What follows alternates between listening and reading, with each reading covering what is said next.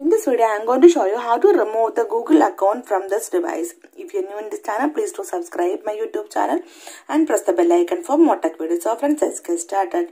To remove the Google account from this device, go to settings and in this page, you can see the option accounts and sync.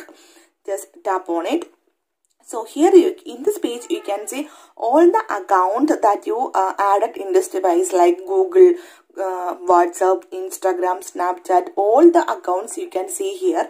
But here in this device i till added only one google account.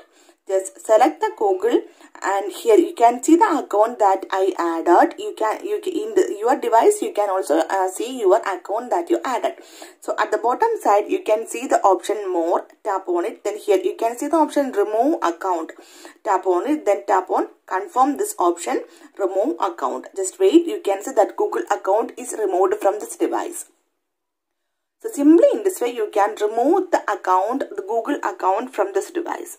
So hope you guys enjoyed this video. If you like this one, please like and share and don't forget to subscribe the channel for more updates. Thank you for watching. Thank you. Bye-bye.